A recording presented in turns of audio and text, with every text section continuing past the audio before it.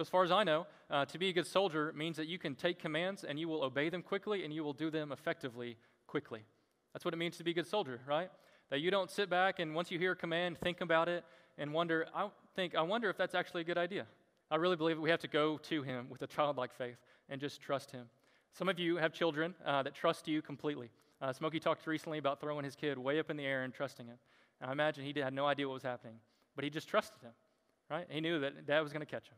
And many of you have uh, experiences like that with your kids. Your kids fully trust you. Maybe there's been times where you're like, I don't know why you trust me in this, but that's awesome. So I think we need to think about as a church and as individuals, individuals as you go out and share your faith and what you believe, what message is it that you are proclaiming?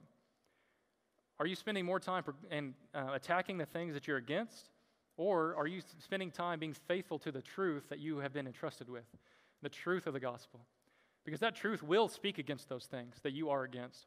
But what, do, what message do people hear from you?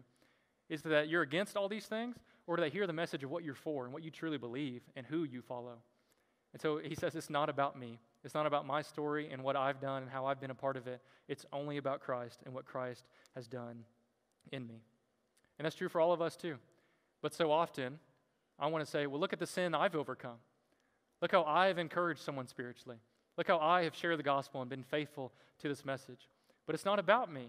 And when we make it about me, well, then we're trying to, what we end up saying is that it's too far gone for others. And that's what we think when we think it's partially on us. And so we live defeated in these areas of our life. We never have victory over these sins because we're not completely embracing Christ. We're not completely following Him and completely allowing Him to change our lives.